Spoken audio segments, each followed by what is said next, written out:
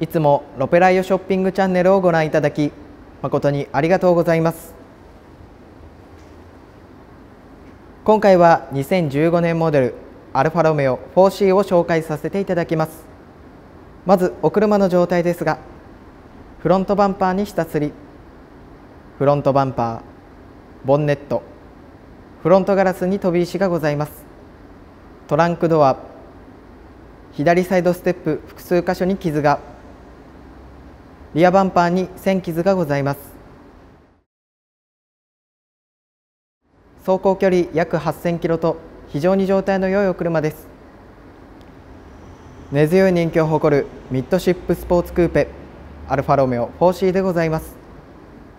こちらのお車は人気オプションのスポーツパッケージやレザーパッケージが装備されていますので内外装のスポーティーさや高級感あふれるレザーを多く多用したお車になります。ヘッドライトは LED ヘッドライトを装備しており夜間走行時も安心してお乗りいただけます。エンジンは1.7リッター直列4気筒ターボチャージャーが搭載されており最高出力は240馬力を誇ります。ボディ重量が軽いお車ですので軽快な走りが魅力の1台です。足元に関しましてはガンメタリックのフロント18インチ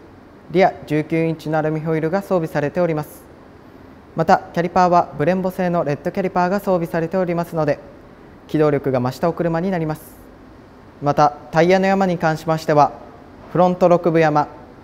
リアが7分山程度となっております。続きましてリア紹介させていただきます。マフラーに関しましては2本出しのマフラーが採用されております。こちらはスポーツパッケージによりエギゾースト機能が装備されておりますのでポーティーなサウンドをお楽しみいただける1台となっております。合わせてトランクスペースの紹介です。トランクは手動での開閉となります。こちらは大きめのボストンバッグが入るスペースが用意されております。また内装の状態も非常に綺麗な状態です。続きましてインテリア紹介させていただきます。インテリアはレッドステッチ入りのブラックレザーが採用されております。こちらも内外装の状態は非常に良好な状態です。ではエンジンを始動します。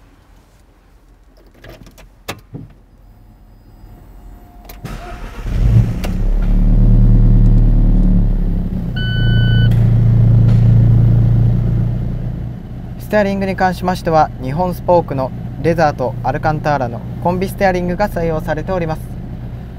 またこちらのお車にはパドルシフトが装備されておりますので自由自在な変速が可能となっております。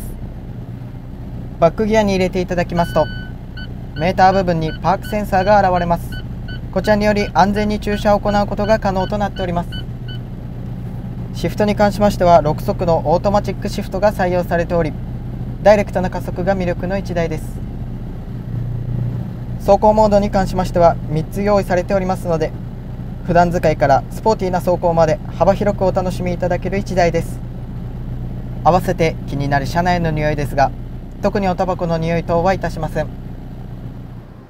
今回は2015年モデルアルファロメオ 4C を紹介させていただきました。人気オプションを身にまとったミッドシップスポーツクーペでございます。走っては240馬力を発生させるエンジンと軽量なボディが組み合わさり軽快な走りが実現しております。またイタリア車らしい美しいデザインも注目していただきたい1台です。